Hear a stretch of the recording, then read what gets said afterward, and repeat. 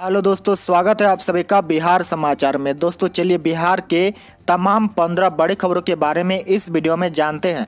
तो फटाफट से आप सभी कमेंट बॉक्स में ज़रूर बताएँ कि आप बिहार के किस ज़िले में रहते हैं। साथ ही अपनी तरफ़ से आप इस वीडियो को एक प्यारा लाइक ज़रूर कर दें। इसके साथ ही वीडियो के अंत में आपसे एक सवाल पूछा जाएगा, जिसका जवाब आपको कमेंट बॉक्स में बताना है, जिसमें से किसी एक को बिहारी मीडिया की ओर से एक लकी प्राइज जीतने का मौका मिलेगा। साथ ही आपके मन में अगर कोई भी सवाल हो तो आप हमें नीचे कमेंट बॉक्स में ज़रूर पूछें। आज की सबसे पहली खबर डीएलएड परीक्षा की तारीखों का ऐलान। बिहार बोर्ड ने जारी किया शेड्यूल जी हाँ बिहार विद्यालय परीक्षा समिति ने डीएलएड की विशेष परीक्षाओं की तारीखों का ऐलान कर दिया है। बीएसबी के अध्यक्ष आनंद किशोर ने कहा कि अगले महीने 6 अप्रैल से 10 अप्रैल तक डीएलएड की विशेष परीक्षा का आयोजन किया जाएगा। उन्होंने बताया कि दो पालियों में परीक्षा ली जाएगी। पहली सीटिंग सुबह 10 बजे से दोपहर एक बजे तक और दूसरी सीटिंग दोपहर दो बजे से शाम पाँच बजे तक आयोजित की जाएगी। बिहार विद्यालय परीक्षा समिति की ओर से मिली जानकारी के मुताबिक डीएलएड की विशेष परीक्षा का एडमिट कार्ड बोर्ड की आधिकारिक website secondary dot Bihar board online dot com पर 24 मार्च से उपलब्ध रहेगा। अगली बड़ी खबर, जदयू में शामिल होते ही बहत्तर घंटे में एमएलसी बने उपेंद्र कुशवाहा। जी हाँ, जदयू में शामिल होने के बहत्तर घंटे के अंदर ही पूर्व केंद्रीय मंत्री उपेंद्र कुशवाहा बिहार में एमएलसी बन गए। राज्यपाल कोटे से बिहार विधान परिषद के लिए मनोनीत। 12 सदस्यों में से एक उपेंद्र कुशवाहा भी है। सभी नए सदस्य ने बुधवार शाम शपथ ग्रहण कर लिया है। इसके साथ ही उपेंद्र कुशवाहा के नाम एक खास रिकॉर्ड भी बन गया। वो चारों सदनों के सदस्य बनने वाले चौथे नेता हैं। तो दूसरी ओर एमएलसी मनोने में हिस्सेदारी नहीं मिलने से मांझी और सहनी नाराज़, लेकिन एनडीए छोड़कर नहीं जाएँगे। राज्यपाल कोटे से 12 एमएलसी मनोनयन के बाद एनडीए में शामिल जीताराम मांझी और मुकेश सहनी में अपनी हिस्सेदारी नहीं मिलने पर विरोध जताया। जीताराम मांझी की पार्टी हिंदुस्तान आवाम मोर्चा ने इस मसले पर पहले ही अपना विरोध दर्ज कराया था और अब मुकेश सहनी की पार्टी भी इस फैसले से नाखुश है। जीताराम मांझी और मुकेश सहनी को इस बात का मलाल है कि एमएलसी मनोनयन पर फैसला लेने से पहले उनकी राय तक नहीं पूछी गई। हालाँकि इस नाराज़गी के बावजूद दोनों एनडीए में ही बने रहेंगे। अगली बड़ी खबर, पटना में क्वारंटाइन सेंटर फिर से शुरू। माइको कंटेनमेंट जोन बनेगा। एयरपोर्ट पर उतरते ही लगेगी वैक्सीन। कोरोना के खतरे को देखते हुए पटना जिला प्रशासन एक बार फिर से वायरस को लेकर सक्रिय हो गया है। पटना में छह क्वारंटाइन सेंटर दोबारा शुरू कर दिया गया है। इसमें से दो राजधानी क्षेत्र और बाकी चार ग्रामीण इलाकों में है। राजधानी पटना के पाटलिपुत्र अशोका में एक सौ पैंसठ और सगुना मोड़ स्थित राधा स्वामी आश्रम में 60 बेड की व्यवस्था के साथ क्वारंटाइन सेंटर की शुरुआत की गई है। इसके अलावा बाढ़, दानापुर, पालीगंज अनुमंडल में भी क्वारंटाइन सेंटर चालू किया जा रहा है। होली के मौके पर बाहर से आने वाले लोगों को संक्रमित पाए जाने की आशंका को देखते हुए ऐसा किया गया है। पटना जिला प्रशासन ने कोरोना के बढ़ते संक्रमण को देखते हुए माइक्रो कंटेनमेंट जोन बनाने का फैसला लिया है। आपको बता दें कि माइक्रो कंटेनमेंट जोन में बैरिकेडिंग की व्यवस्था नहीं की जाएगी, बल्कि जहाँ भी मरीज़ मिलेंगे, वहाँ बड़े बड़े स्पीकर और बैनर लगाए, इससे लोगों को इलाका संक्रमित है। कल से पटना में सक्रिय मरीजों के इलाज की स्क्रीनिंग शुरू हो गई है। साथ ही साथ, मास्क की चेकिंग अभियान की भी शुरुआत हो गई है। इसके लिए पटना में छह टीमें बनाई गई है। पटना के डीएम ने कहा कि लोगों को मास्क पहनने के लिए जागरूक किया जाएगा। इसके अलावा पटना एयरपोर्ट पर उतरने वाले यात्रियों की कोरोना टेस्टिंग कराई जाएगी। यदि उन्होंने टीका नहीं लिया है तो फिर वैक्सीन भी लगाई जाएगी।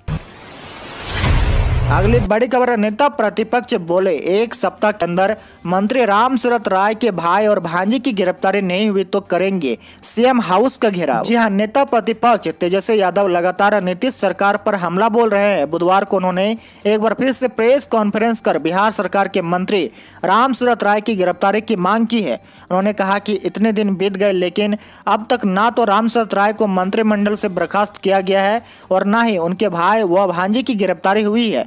उन्होंने कहा कि एक सप्ताह के अंदर मंत्री के भाई और भांजी की गिरफ्तारी नहीं हुई तो मुख्यमंत्री आवास का घेरा महागठबंधन की ओर से किया जाएगा। अगली बड़ी खबर, विधानसभा के इतिहास का सबसे काला दिन। मंत्री ने भरे सदन में विधानसभा अध्यक्ष को डांटा। और वहाँ हुए अध्यक्ष आसन से उठकर चले गए। जी हाँ बिहार विधानसभा ने कल अपने इतिहास का सबसे काला दिन देखा, जिस सदन में आसन यानी विधानसभा अध्यक्ष ही सर्वोच्च होता है, सर्वोच्च पद होता है, वही आसन यानी अध्यक्ष शर्मसार हो गए। भाजपा के मंत्री ने बीच सदन में विधानसभा अध्यक्ष को फटकार दिया। और हुए अध्यक्ष ने सदन की कार्यवाही स्थगित कर दी और सदन छोड़कर चले गए। बिहार विधानसभा ने आज तक ऐसा दिन नहीं देखा होगा। विधानसभा अध्यक्ष को डांटने वाले मंत्री सम्राट चौधरी नित्यानंद राय और भूपेंद्र यादव के सबसे खास माने जाते हैं। उन्हें विधान परिषद भेजकर मंत्री बनाया गया है। आपकी जानकारी के लिए बता दें कि विधानसभा अध्यक्ष ने व्यवस्था कर रखी है कि विधायक जो भी प्रश्न पूछे उनका ऑनलाइन जवाब पहले ही सरकार दे दे ताकि विधायक पहले से ही जवाब पढ़कर और समय की बचत हो जिससे ज़्यादा से ज़्यादा विधायकों का सवाल सदन में आ सके। विधानसभा में प्रश्नकाल के दौरान बीजेपी के विधायक विनय बिहारी का सवाल आया। इसका जवाब पंचायती राज मंत्री सम्राट चौधरी को देना था। मंत्री ने अपने जवाब को ऑनलाइन नहीं दिया। विधानसभा अध्यक्ष ने मंत्री से पूछा, आप ऑनलाइन जवाब क्यों नहीं देते हैं? आपके विभाग का जवाब ऑनलाइन नहीं आता है। विधानसभा अध्यक्ष के इतना ही, मंत्री सम्राट चौधरी अध्यक्ष से बहस करने लगे। उन्होंने सुबह के तक देखा था। उनके विभाग के बहुत सारे सवालों का जवाब नहीं आया था। बस इसी बात पर मंत्री ने भरे सदन में अध्यक्ष को ही फटकारना शुरू कर दिया। सीएम के साथ बैठक में बोले पीएम मोदी, कोरोना के दूसरी लहर को रोकना होगा। गाँव में फैला कोरोना तो रोकना मुश्किल। पूरे देश भर में कोरोना संकट के बढ़ते मामलों के बीच बुधवार को पीएम नरेंद्र मोदी ने सभी राज्यों के मुख्यमंत्री के साथ वर्चुअल बैठक की। इस बैठक में कोरोना की दूसरी लहर को रोकने के साथ ही साथ वैक्सीनेशन पर चर्चा हुई। इस बैठक में पश्चिम बंगाल के सीएम ममता बनर्जी, छत्तीसगढ़ के सीएम भूपेल बघेल और यूपी के सीएम योगी आदित्यनाथ शामिल नहीं हुए। वहीं बैठक में पीएम ने कहा कि जनता को पैनिक मोड में लाना नहीं है। भय का माहौल नहीं बनाना है। हमें जनता की परेशानी से मुक्ति दिलानी है और पुराने अनुभवों को फिर से इस्तेमाल में लाना होगा। पीएम ने कहा कि कोरोना के खिलाफ देश की लड़ाई को एक साल से ज़्यादा हो रहा है। भारत के लोगों ने कोरोना का जिस प्रकार से सामना किया है, उसे लोग उदाहरण के रूप में प्रस्तुत करते हैं। आज देश में छियानवे फ़ीसदी से ज़्यादा मामले रिकवर हो चुके हैं। मृत्यु दर में भी भारत सबसे कम दर वाले देशों में शामिल है कुछ राज्यों में केसों की संख्या बढ़ रही है। जिसे देखते हुए हमें यह निर्णय लेना बहुत ज़रूरी है। अगली बड़ी खबर, बिहार में मिले तीन सौ सैंतीस कोरोना पॉजिटिव। शहीद एक्सप्रेस 20 तक रद्द। जी हाँ कोरोना के बढ़ रहे मामले को देखते हुए जयनगर से अमृतसर जाने वाले शहीद एक्सप्रेस के परिचालन पर 17 मार्च से 20 मार्च तक रोक लगा दी गई है।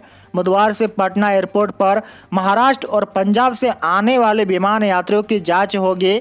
उनके पास नेगेटिव का सर्टिफिकेट नहीं होगा तो उनकी रैपिड एंटीजन जाँच कराई जाएगी। इधर स्वास्थ्य मंत्री मंगल पांडे ने कहा कि राज्य में केवल तीन सौ सैंतीस कोरोना पॉजिटिव है। हर स्तर पर पर कोरोना संक्रमण की दर कम है। वही कोरोना संक्रमण के खतरे से निपटने के लिए सरकार सतर्क है। मुख्यमंत्री परिवहन योजना में गाड़ी लेने को फिर से आवेदन। परिवहन विभाग बिहार ने मुख्यमंत्री ग्राम परिवहन योजना के तहत आठवें चरण के लिए आवेदन करने की समय सीमा तय कर दी है। इसके तहत पंचायतवार आवेदन करने की अंतिम तिथि 8 अप्रैल तय की गई है। इस योजना से जुड़कर वंचित लोग अनुदान पर वाहन खरीदकर रोज़गार से जुड़ सकेंगे। आवेदन करने के एक महीने में लाभुकों को गाड़ी खरीदने के लिए अनुदान मिलेगा। इस योजना में सरकार ने लाभुकों की संख्या बढ़ाने का निर्णय पिछले साल लिया था। इसके तहत चार एस सी एवं तीन अत्यंत पिछड़े जाति के लोगों को गाड़ी खरीदने के लिए अनुदान दिया जाना है। एक पंचायत में अधिकतम सात लोगों को योजना का लाभ मिल सकेगा। आप मीटर रीडर के नहीं आने पर भी उपभोक्ता बना सकेंगे अपना बिल। बिजली कंपनी ने जारी किया मोबाइल बिहार के सभी सारे इलाकों के ऐसे उपभोक्ता जिनको दो माह तक बिजली बिल नहीं मिल पाता था तो उन्हें अब चिंता करने की ज़रूरत नहीं है। उपभोक्ता खुद अपना बिजली बिल खुद तैयार कर सकते हैं। उसके लिए बिजली कंपनी ने सेल्फ बिलिंग मोबाइल ऐप बनाया है। इस मोबाइल ऐप को इस तरह से तैयार किया गया है कि उपभोक्ता अपना उपभोक्ता आईडी डालकर स्वयं अपने मीटर रीडिंग व मीटर का फ़ोटो अपलोड कर सकते हैं। कंपनी के अधिकारियों ने बताया कि सबसे पहले उपभोक्ताओं को गूगल प्ले स्टोर से सुविधा मोबाइल ऐप डाउनलोड करना होगा। इसके बाद आप बिजली मीटर की तस्वीर खींचकर मोबाइल के माध्यम से ऐप पर अपलोड कर सकते हैं। उसके बाद आप अपना बिल खुद बना सकते हैं। बिहार बोर्ड इंटर का मूल्यांकन जल्द होगा पूरा। बिहार स्कूल एग्जामिनेशन के मूल्यांकन कार्य चल रहा है। ऐसे में उम्मीद जताई जा रही है कि बिहार बोर्ड जल्द ही इंटर परीक्षा के नतीजे जारी कर देगा। आपको बता दें कि बिहार बोर्ड ने सभी राज्यों के बोर्ड में सबसे पहले परीक्षा का आयोजन किया है और सबसे पहले यह नतीजा जारी करने की तैयारी में हालाँकि बिहार बोर्ड इंटर के मूल्यांकन की तारीख 15 मार्च तय की गई थी, लेकिन कहा जा रहा है कि इसे अभी दो दिन और बढ़ाया गया था। अब उम्मीद जताई जा रही है कि बिहार बोर्ड इंटर का मूल्यांकन समाप्त होने वाला होगा। इसलिए बिहार बोर्ड इंटर के नतीजे मार्च के आखिरी सप्ताह या फिर अप्रैल में जारी हो सकते हैं। राज्य में शराब की होम डिलीवरी मंगवाई तो खैर नहीं, स्पेशल टीम गठित, एलटीएफ और स्वान दस्तक तैयार। जी हाँ राज्य में शराब की होम डिलीवरी मंगवाने वालों की अब खैर नहीं शराब का सप्लायर पकड़ा गया तो पुलिस उसके ज़रिए उन लोगों तक भी पहुंचेगी जो अपने घरों पर शराब मंगवा रहे हैं। शराब की होम डिलीवरी और तस्करी को लेकर पटना पुलिस अलर्ट मोड में रहे। रेंज आईजी संजय सिंह के निर्देश पर पुलिस की लगभग एक दर्जन टीमें सभी अनुमंडल में शराब तस्करों की तलाश में खाक छान रही है। इसके अलावा एनटीएफ और स्वान दस्ते को भी शराब माफियाओं के खिलाफ चलाए जा रहे अभियान में शामिल किया गया है। होली को लेकर इसे विशेष टीम का गठन किया गया है। इसके साथ ही पुलिस अब कैरियर बॉय के ज़रिए उन लोगों तक भी पहुंचेगी जो शराब का ऑर्डर देते हैं। बड़ी खबर, नियोजित शिक्षकों के लिए बड़ी खुशखबरी। बिहार के टीचर्स ट्रेनिंग कॉलेज में बनेंगे लेक्चरर। जी हाँ, बिहार के सरकारी विद्यालयों में कार्यरत अहताधारी नियोजित शिक्षकों के लिए एक बड़ी खुशखबरी है। नियोजित शिक्षक भी अब बिहार के टीचर्स ट्रेनिंग कॉलेज में लेक्चरर बन सकते हैं। पटना हाईकोर्ट ने याचिका का निष्पादन करते हुए साठ दिनों में रिज़ल्ट प्रकाशित करने का आदेश जारी कर दिया है। बड़ी खबर, ट्रैफ़िक नियमों की अनदेखी पड़ेगी भारी। बाईस से आराम में चलाया जाएगा चेक इन अभियान। जी हाँ ट्रैफ़िक नियमों की अनदेखी करने वाले अब सावधान हो जाए। नियम तोड़ना भारी पड़ेगा। इसके अनुपालन को लेकर 22 मार्च से ज़िले भर में सघन वाहन चेक इन अभियान शुरू किया जाएगा। ट्रैफ़िक नियमों का पालन नहीं करने वालों से जुर्माने की वसूली की जाएगी। वाहनों को अनियंत्रित तरीके से चलाने व मोटर वाहन अधिनियम की शर्तों का पालन नहीं करने के कारण हो रही दुर्घटना व मौत के मद्देनजर उक्त फैसला लिया गया है। आपको बता दें कि जगह जगह चौक चौराहा पर धावा दल का गठन कर सघन वाहन चेकिंग अभियान चलाया जाएगा। सभी थाना अध्यक्ष, मोटर यान निरीक्षक, यातायात प्रभारी S D P O S D O व जिला परिवहन पदाधिकारी को निर्देश दिया गया कि सघन वाहन चेक इन अभियान योजनाबद्ध तरीके से चलाना सुनिश्चित करेंगे। पकड़े जाने पर निर्धारित जुर्माने की राशि वसूल करेंगे। और हम की बड़ी खबर राजधानी पटना में अक्टूबर से नहीं चलेंगे पेट्रोल, डीजल वाले ऑटो और बस। लगाना होगा सीएनजी की। जी हाँ राजधानी पटना में प्रदूषण के बढ़ोतरी को लेकर सरकार भी चिंतित है। वहीं अब शहर के अंदर डीजल से चलने वाली नगर सेवा वाली बसों पर रोक लगाने की तैयारी शुरू हो गई है। परिवहन सचिव संजय कुमार अग्रवाल ने निजी नगर बस सेवा के बस मालिकों के साथ इस मामले पर चर्चा करने के लिए बैठक की। जिसमें उन्होंने स्पष्ट निर्देश दे दिया है कि वो इन बसों पर जल्द ही सीएनजी किट लगवाने की तैयारी इसके अलावा ऑटो में भी पेट्रोल डीजल को हटाकर सीएनजी किट लगाना ज़रूरी होगा। मीडिया रिपोर्ट के अनुसार 30 सितंबर के बाद पटना शहरी क्षेत्र में पेट्रोल व डीजल से चलने वाले ऑटो पर भी पूरी तरह से रोक लगा दी जाएगी। आज के लिए आपका सवाल बताए कि बिहार के वर्तमान कृषि मंत्री का नाम क्या है? इसका जवाब आप हमें नीचे कमेंट बॉक्स में ज़रूर बताएँ।